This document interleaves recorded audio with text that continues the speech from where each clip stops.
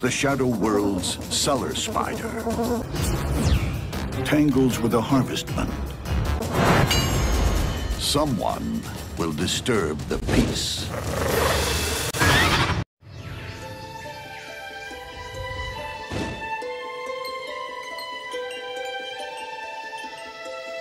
Meet the cellar spider.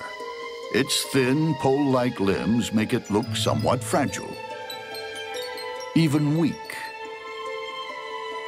But nothing's further from the truth. The cellar spiders are actually pretty good at killing other spiders. They don't necessarily specialize on killing other spiders, but they're really good at it when they get the chance. From their hidden vantage points, they pick off passing prey. Small or large, it makes no difference. And those spindly legs, with their multiple sections,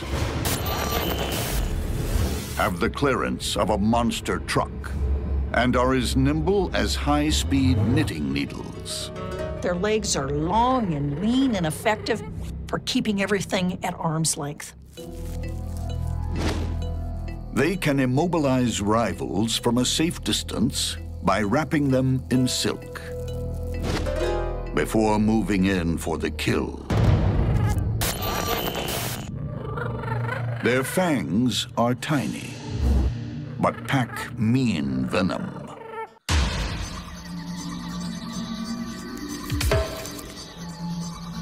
In the forest,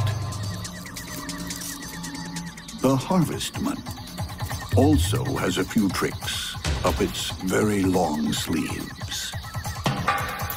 You'd think to look at a harvestman that it's a spider, but these guys aren't spiders at all. They don't have venom, they don't have a sting, they don't produce silk. Harvestmen are pretty much characterized by legs. Those long limbs give it critical clearance in a close fight. And its spiky exoskeleton makes it a tough foe to tackle. And when it comes to victims, the harvestman isn't fussy. Spiked feelers called pedipalps grab and hold the prey, while claw-like mouthparts rip and tear at the flesh.